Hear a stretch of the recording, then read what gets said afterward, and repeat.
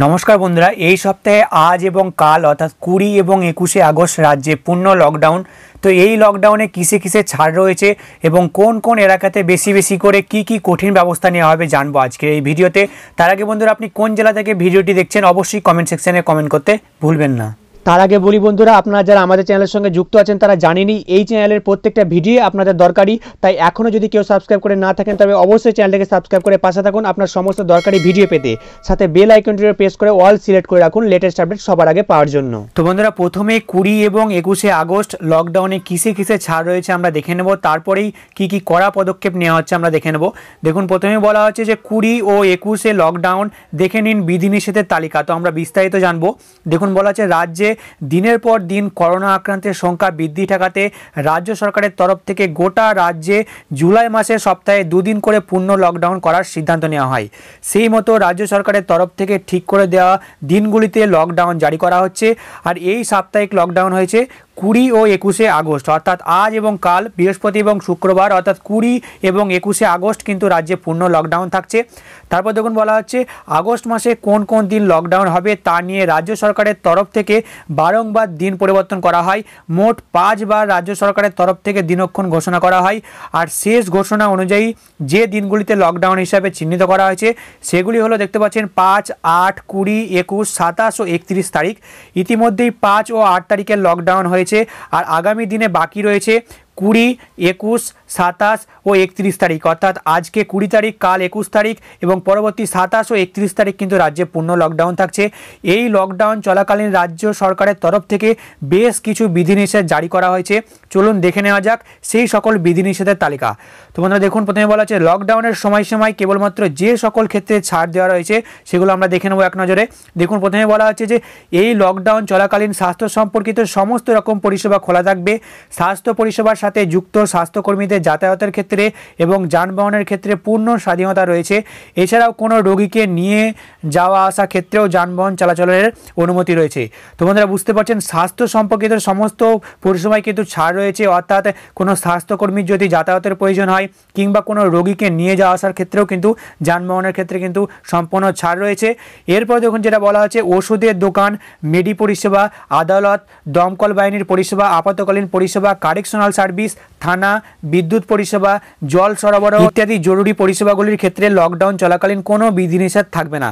তো বন্ধুরা, বুঝতে পারছেন, স্বাস্থ্য সম্পর্কিত সমস্ত বিষয় এবং ওষুধের দোকান, মেডি পরিষেবা, আদালত, দমকল বা আপতকালীন যে সমস্ত পরিষেবা হয়, কারেকশনাল সার্ভিস, থানা, বিদ্যুৎ পরিষেবা, জল সরবরাহ, এই সমস্ত কিছুতে কিন্তু কোনো রকম বিধিনিষেধ থাকছে না।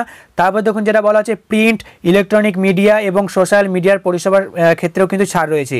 এরপর যেটা বলা হচ্ছে ই কমার্স পরিষেবা, অর্থাৎ ফ্লিপকার্ট অ্যামাজন এই সমস্ত যে সমস্ত ডেলিভারি হয় সেগুলোতেও কিন্তু কোনো রকম বিধিনিষেধ থাকছে না।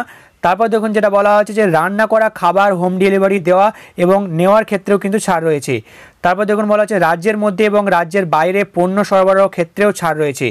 দেখুন, তারপর যেটা বলা হচ্ছে যে বাকি সমস্ত কিছু যেমন মুদিখানার দোকান, হাট বাজার, গণপরিবহন ইত্যাদি সমস্ত কিছুর ক্ষেত্রে কিন্তু বিধিনিষেধ আরোপ করা হয়েছে। তো আমরা আবার আপনাদের দেখিয়ে দেওয়ার চেষ্টা করব যে কিসে কিসে ছাড় রয়েছে। দেখুন, প্রথমে যেটা বলা হচ্ছে যে স্বাস্থ্য সম্পর্কিত সমস্ত কিছু পরিষেবা অর্থাৎ যদি স্বাস্থ্যকর্মীদের যাতায়াতের প্রয়োজন হয়, কিংবা রোগীদের যদি নিয়ে যাওয়া বা নিয়ে আসার ক্ষেত্রে যদি কোনো রকম যানবাহনের প্রয়োজন হয়, তাহলে সেক্ষেত্রে ছাড় রয়েছে। তারপরে ওষুধের দোকান, মেডি পরিষেবা, দমকল, আপতকালীন পরিষেবা, থানা, তারপরে বিদ্যুৎ পরিষেবা, জল সরবরাহ, এই সমস্ত কিছুতে কিন্তু ছাড় রয়েছে। প্রিন্ট, ইলেকট্রনিক মিডিয়া, সোশ্যাল মিডিয়ার পরিষেবার ক্ষেত্রে কিন্তু ছাড় রয়েছে। ই কমার্স পরিষেবাও ছাড় রয়েছে। তারপরে রান্না করা, খাবারের যদি হোম ডেলিভারির প্রয়োজন হয়, তাহলে সেক্ষেত্রে কিন্তু কোনো বিধিনিষেধ থাকছে না। রাজ্যের মধ্যে এবং রাজ্যের বাইরে পণ্য সরবরাহের ক্ষেত্রেও কিন্তু ছাড় রয়েছে।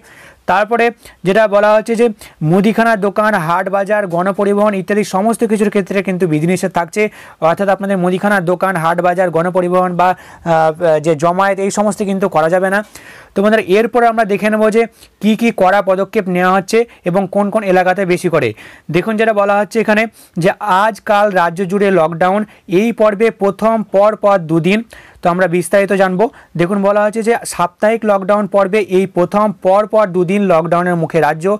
আজ বৃহস্পতিবার এবং আগামীকাল শুক্রবার রাজ্য জুড়ে সার্বিক লকডাউন পালিত হবে। এর আগে পরপর দুদিন লকডাউনের পরিকল্পনা থাকলেও শেষ পর্যন্ত তা বাতিল হয়ে যায়। আগামী সপ্তাহেও আঠাশ তারিখের লকডাউন বাতিল হওয়ায় পরপর দুদিন জনজীবন স্থগিত থাকছে না।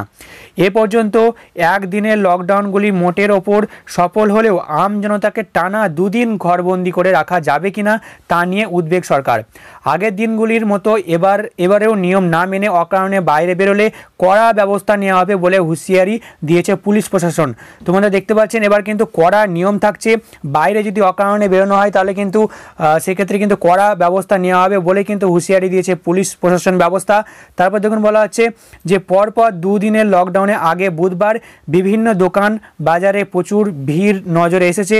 কলকাতায় রাস্তায় এদিন গাড়ির সংখ্যাও ছিল তুলনামূলকভাবে বেশি। উত্তর ও মধ্য কলকাতার বিভিন্ন রাস্তায় যানজটও হয়েছে। মাস্ক ব্যবহার না করায় কলকাতায় পুলিশের শাস্তির মুখে পড়েছেন অনেকে। তারপর দেখুন যেটা বলা হচ্ছে যে প্রশাসন সূত্রে খবর, আগের সাপ্তাহিক লকডাউনের দিনগুলিতে যেমন বন্দোবস্ত ছিল আজ ও কাল তেমনই থাকবে। বিভিন্ন দোকান, বাজার বন্ধ থাকবে। গুরুত্বপূর্ণ এলাকাগুলিতে থাকবে নজরদারি। তো বন্ধুরা দেখতে পাচ্ছেন, গুরুত্বপূর্ণ এলাকাগুলিতে কিন্তু নজরদারি থাকছে বেশি করে। কলকাতার যেসব এলাকাগুলিতে আগের লকডাউনের দিনে নিয়ম ভাঙার ঘটনা বেশি ঘটেছে, সেখানে অতিরিক্ত নজর রাখতে বলা হয়েছে। তো বন্ধুরা বুঝতে পারছেন, যে সমস্ত এলাকায় আগের লকডাউনগুলির নিয়ম কিন্তু ভঙ্গ করা হয়েছে, সেই সমস্ত এলাকায় কিন্তু বেশি করে নজর থাকবে, অতিরিক্ত নজর থাকবে। তারপর দেখুন বলা হচ্ছে, প্রতিটি কমিশনারেট এবং জেলা পুলিশকেও কিন্তু অতিরিক্ত বাহিনী মোতায়েন করতে বলা হয়েছে। প্রশাসনের একটি সূত্রে জানাচ্ছে, যে জেলা এবং যে এলাকাগুলিতে বেশি সংখ্যক কোভিড রোগী রয়েছেন, সেখানে বেশি কড়াকড়ি থাকবেই, তবে সার্বিকভাবে জরুরি পরিষেবা, স্বাস্থ্য পরিষেবায় ছাড় দেওয়া হবে।